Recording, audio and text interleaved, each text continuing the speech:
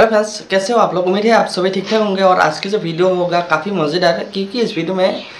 बहुत सारी टीमों के बारे में बात करेंगे, बहुत सारे प्लेयरों के बारे में बात करेंगे। उसके अलावा नोटिस यूनिट एफ़ के लिए है, एक बेट न्यूज़ उसी के बारे में बात करेंगे। इस वीडियो में उसके अलावा, इस वीडियो में जो आपको मैं बहुत ही इंपॉर्टेंट बात बोलने वाला हूँ तो आप इस वीडियो को ज़रूर लास्ट तक देखा क्योंकि जो इंपॉर्टेंट बात है वो आपको आखिर में मिलेगा।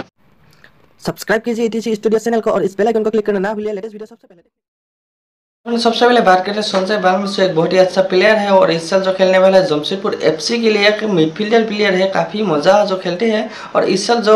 जमशेदपुर एफसी में देखा जाएगा। इसके साथ साथ गोवा ने भी एक बहुत ही अच्छा जो प्लेयर को साइन किया रहा जिसका नाम है जेडी और बहुत ही अच्छा जो खेल दिखाते हैं और ये भी मिडफील्डर ही है। तो उसके बाद अगर बात करें अब्दुल हक्कू की तो फ्रेंड्स अब्दुल हक्कू एक बहुत ही अच्छा जो प्लेयर है, लेकिन इस साल जो नॉर्थ ईस्ट यूनाइटेड एफ़ के लिए नहीं खेलने वाला है, इस साल जो खेलने वाला है केरला ब्लास्टर के लिए तो फिर इससे पहले नॉर्थ ईस्ट यूनाइटेड एफ़ में बहुत ही अच्छा जो खेल दिखाया लेकिन इस साल जो नॉर्थ ईस्ट यूनाइटेड एफ़ में नहीं खेलने वाला है, ये कंफर्म खबर है, इसमें कोई भी दिक्कत नहीं है। तो मैं इस बार केरला ब्लास्टर के लिए खेलने वाला है। अगर आप केरला ब्लास्टर के फ़ैन हो तो आपके लिए बहुत ही बढ़िया न्यूज़ है। तो फ्रेंड, आज की जो इम्पोर्टेंट बात है, उसी के बारे में अगर बात करें तो फ्रेंड इम्पोर्टेंट बात कुछ ऐसा है कि बहुत सारे जो कमेंट्स आ रहा है चैनल पे और ऐसे में मैं हर एक कमेंट का जो रिप्लाई अभी नहीं कर सकता, क्योंकि इतना टाइम तो है नहीं वीडियो को शूट करना है एडिट करना है, उसके बाद अपलोड करना है, उसके अलावा और बहुत सारे जो कमेंट्स आ रहा है, उसी कारण से जो हर एक कमेंट को रिप्लाई नहीं कर पा रहा हूँ। तो मैं इसी कारण से मैं सोच रहा हूँ कि अभी क्यू का वीडियो शुरू करो और हर संडे आपको क्यू वीडियो दो और टाइप करना है क्यू स्पेस आपकी जो भी क्वेश्चन है। तो फ्रेंड्स, आज की वीडियो में नेक्स्ट वीडियो भी मिलेगा एक नई वीडियो के साथ अगर आपको ये वीडियो अच्छा लगा तो ज़रूर लाइक करना। Thank for watching